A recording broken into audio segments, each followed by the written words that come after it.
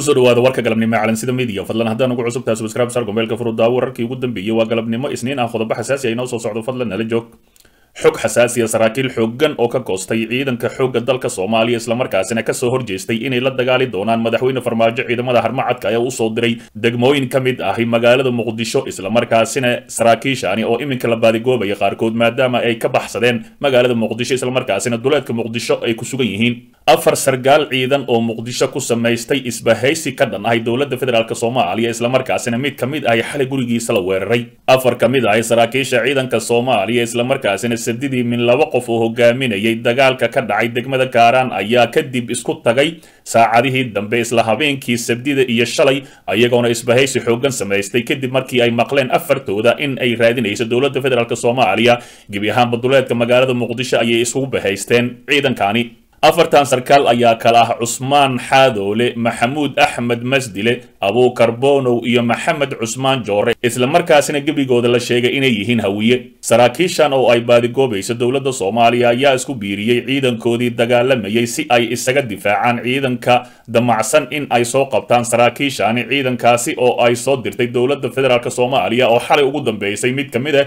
gurigiisa in la weeraray. Korneel maxamuud axmed masdile ayaa xalay gurigiisa kaaraan la weeraray islamarkaasina shan qofood ayaa lagala baxay. Maanta ayuu la hadlay warbaahinta islamarkaasina sheegay haddii dowladda federaalk soomaaliya isku dayda mar kale inay cawaaqib xumada ka dhalata ay dusha saaran doonto villa soomaaliya. Dowladda soomaaliya ayaa habeen hore ciidankeeda gaarka ahi u dirtay soo qabashada saraakiishani waxaana la sheegay in markii ay heleen xogtaasi ay isku biiriyeen ciidankooda. Iyadoo ugu dambeyn la sheegay in ay kala galeen xaafado ku yaalla dhinaca waqooyi ee muqdisho islamarkaasina isku bahaystay halkaasi. Xaafadaha degmooyinka dhaca waqooyiga muqdisho ayaa shalay ilaa xalay laga dareemayay jawi colaadeed waxaana laga cabsi qabaa inuu dhaco dagaal dhinacyada u dhexeeya waa ciidanka harmacad ee dowladda federaalk soomaaliya. U dirta saraakiishaasi iyo saraakiishan oo aad u hubaysan islamarkaasina afar sargaal oo ciidamadoodii isku geeya ay yihiin kasakow saraakiishani waxaa jirta cabsi ah haddii dowladda aysan ka tanaasulin arrintaani ay horseedi karto in ciidan kale iyo shacab ku qabiil ahi ay ku biiraan kacdoonka ka dhanka ahi dowladda federaalk soomaaliya islamarkaasina saraakiishan qabiilkooda oo idil ay ku soo biiraan.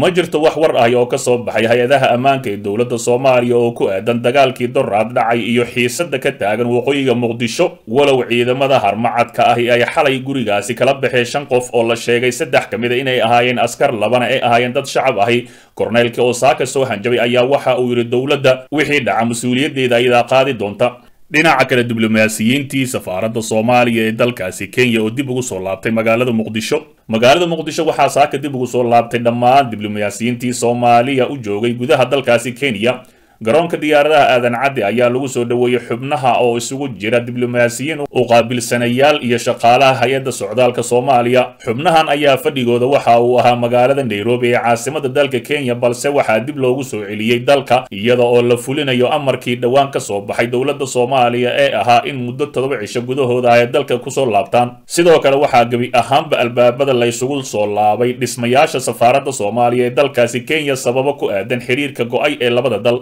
soomaaliya ayaa shan iyo tobankii bishani disembar xiriirka diblomaasiyadeed u jirtay dhiggeeda kenya oo ay ku eedeysay inay faragelin qaawan ku hayso arrimaha gudaha si kastaba arrimahani ayaa ku soo aadaya iyadoo labada madaxweyne ee soomaaliya iyo kenya ay kulan ku yeesheen dalkaasi jabuuti oo ay uga qayb galeen shirweynaha igad. Dhinaca kale ra'iisul wasaare rooble iyo dhallinyarada odayaasha kala hadlay sida ay uga qayb qaadan karaan sugidda amniga gaalkacyo. Ra'iisul wasaaraha xukuumadda federaalk soomaaliya maxamed xuseen rooble ayaa magaalada gaalkacyo kula kulmay odayaasha dhaqanka iyo dhallinyarada magaaladaasi waxa uuna kala hadlay kaalinta ay ka qaadan karaan sugidda amniga magaaladaasi. Rooble oo jooga magaalada gaalkacyo maalintii qaraxa u dhacay ilaa hadda koonfurda gaalkacyo ayaa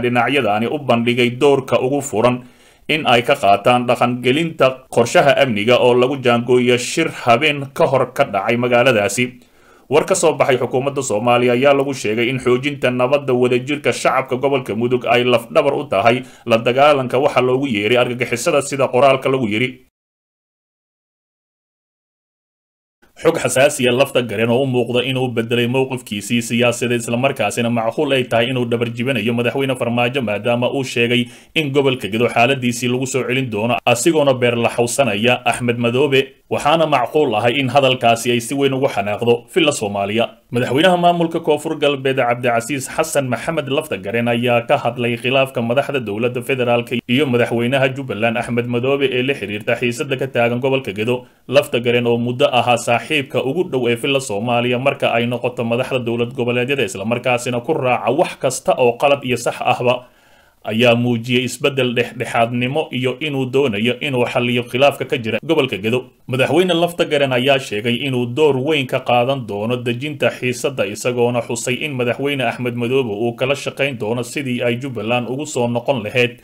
Sideedii hore taasi oo ka dhigan in gedo dib loogu celin doono maamulka jubbaland taasi ay macquul tahay inay villa soomaaliya ka xanaaqdo hadalkaasi ka soo yeeray lafta gareen waan kala shaqaynaynaa nabadda iyo sidii jubbalandteedii ku soo noqon lahayd dadkaasi walaalaha ahna nabad ku wada noolaan lahaayeen uma baahna maanta dad walaalo ahi oo xabad isku ridaya oo la yidhaahdo ciidan baa soo socda ayuu yidhi madaxweyne laftagareen taas oo ula jeedo ciidamada madaxweyne farmaajo uu geeyay gobolkaasi gedo iyo kuwa jubbaland inay isdagaalaan islamarkaasina ciidamada madaxweyne farmaajo oo geeyay gobolkaasi gedo. Waxa uu micnaha u dhigay in ay la dagaalamayaan cadowga ku soo duulay dalka hase ahaatee meeshaasi ayuu toosh weyn ku ifiyey laftagareen waxa uu intaasi ku sii daray intii hore ayaa nagu filan waxaan jecelnahay inay nala qaadan doonaan annaga reer koonfur galbeed ahaan ayaa isku xilqaami doono arrintaani hadalka lafta gareen ayaa u muuqda mid uu ku beer laxawsanaya madaxweyne axmed madoobe oo meel adag iska taagay xiisada gobolka gedo oo gacanta ku hayso ciidamada ay geysay dowladda federaalk soomaaliya ee hogaamiyo madaxweyne farmaajo. Jubbaland ayaa doraad soo saartay qoraal ay ku sheegtay in markaan ay diyaar u tahay inay isdifaacdo iyada oo ku eedeysay madaxweyne farmaajo iyo nisa inay colaad ka hurinayso gobolka gedo dowlad goboleedka jubbaland waxay aad ugu xun tahay xaalada murugsan ee muddada dheer ka jirta gobolka gedo taasoo caddaynaysa in madaxweynaha soomaaliya iyo hay'adda nabadsugidda nisa uu hogaamiyo fahad yaasiin oo isticmaalaya magaca qaranka soomaaliyeed iyo hantida ummadda soomaaliyeed inay colaad kaga abuureen gobolka gedo ee dowlad goboleedka jubbaland. Arrintaas oo muddo sanad ahay taagneed ayaa lagu yidhi qoraalka. Jubbaland ayaa sheegtay in dowladda federaalka ay iska indhatirayso go'aanada isdabajooga ahi ay beesha caalamka ka soo saareen oo loogu baaqaya inay qaboojiyaan xiisada gobolka iyadoona xustay in cawaaqib xumada ka dhalata xaaladaasi ay mas'uuliyadeeda dusha ka saaran tahay madaxweynaha dowladda federaalk soomaaliya farmaajo ee wakhtigiisa sii dhammaanaya. Xiisada ka dhex aloosan dowladda federaalk iyo maamulka jubbaland ayaa xilligaani maraysa meeshii ugu sarraysay abid xilli ay muddo kooban ka harsan tahay doorashooyinka dalka oo xaalad cakiran ka abuuray dalka soomaaliya. Si kastaba ha ahaatee lafta gareen ayaa iminka waxay macquul ay tahay inuu siyaasadiisii saaxiibtinimada madaxweyne farmaajo uu bedelay islamarkaasina uu doonayo in uu kala dhexdhexaadiyo ciidamada farmaajo uu halkaasi geeyey iyo ciidamada jubbaland inay halkaasi isku dilaan. Villa soomaaliya ma ka yeeli doontaa dhexdhexaadnimada oo sheegtay lafta gareen. Dhinaca kale madaxweyne farmaajo booliska soomaaliyeed waa astaan qaran oo u taagan xaqiijinta amniga dalkayna hooyo madaxweynaha jamhuuriyadda federaalk soomaaliya maxamed cabdilaahi farmaajo ayaa ugu hambaliyeeyey saraakiisha saraakiil xigeenada alifiyada dableyda iyo dhammaan qaybaha kala duwan ee ciidanka booliiska iyo qoyskooda. Toddobaatan iyo toddoba guurada ka soo wareegtay aas-aaskii ciidamada booliiska soomaaliyeed war qoraal ah oo ka soo baxay madaxtooyada ayaa waxaa lagu sheegay in madaxweynaha uu adkeeyey in ciidanka booliiska soomaaliyeed ay naftooda u huraan xaqiijinta amniga iyo xasiloonida dalka si muwaadiniinta soomaaliyeed ay nabad ugu noolaadaan dalkooda ciidanka booliiska soomaaliyeed waa astaan qaran iyo midnimo. Waxa ayna u taagan yihiin xaqiijinta amniga dalka. Si dadkeennu ay nabad iyo xasilooni ugu noolaadaan sidaa awgeed waxaan shacabka soomaaliyeed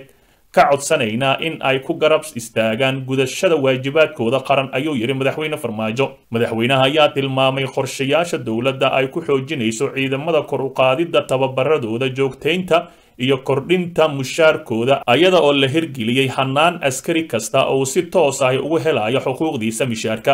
madaxweynaha jamhuuriyadda federaalk soomaaliya ayaa ku bogaadiyey saraakiisha iyo guud ahaan ciidanka booliiska soomaaliyeed doorkooda ku aadan kamiro dhalinta qorshayaasha mug weyn ee dib u dhiska iyo xaqiijinta amniga dalka soomaaliya